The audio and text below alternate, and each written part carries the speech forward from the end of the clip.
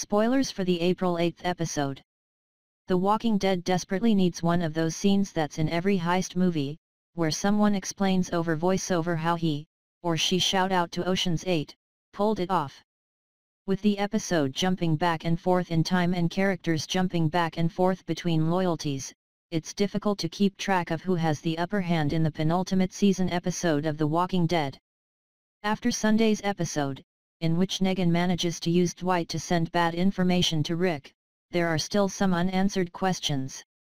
Namely, what is Negan's real plan on The Walking Dead? Our heroes are walking into a trap.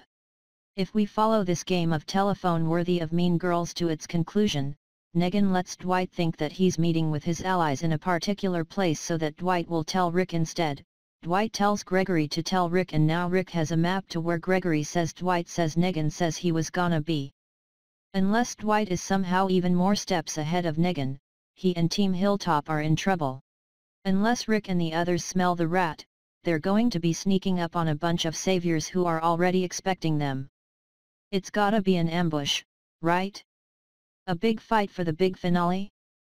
Will Aaron and the Oceansiders charge in at the last minute, like Han Solo in Star Wars or the Rohirrim or really any army in Lord of the Rings. Can't anyone agree on a time and place to meet for a fight in stories like this? Anyway, the most obvious plan for Negan is that he's luring the best fighters to a place where he and the saviors can take them out.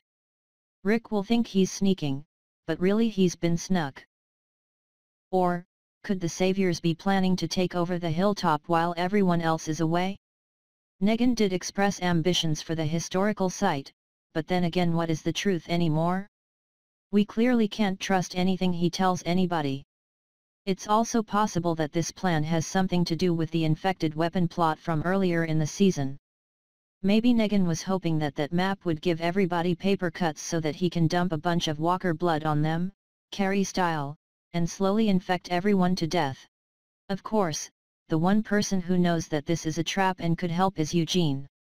The timeline in Sunday's episode was a bit fuzzy, but it seems like Eugene was briefed on the situation before he's taken by Daryl and Rosita back to the hilltop.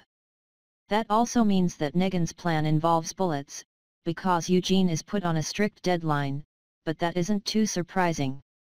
Rick and the others may not believe him, but he could do the right thing and try to stop them. There's also Gabriel, who could surprise everyone yet and pull a last-ditch heroic effort in the season 8 finale. Here's an additional question, does Gregory know the real plan? Probably not. Bless his little heart, Gregory is not that good of an actor, and Negan seems surprised that Dwight delegates. Negan's manipulation seems to go off without a hitch, but it's still not exactly how he had planned it. Even while backstabbing, Dwight is a pretty good leader. Fortunately Rick, Michonne, Maggie and the others have all been in similar situations before. There's no way they'll be totally unprepared for whatever Negan is really planning. While the finale is sure to have plenty of twists and turns and shocking reveals, there's no way that Negan won't be just as surprised as those he's planning to slaughter. Nobody's that good right?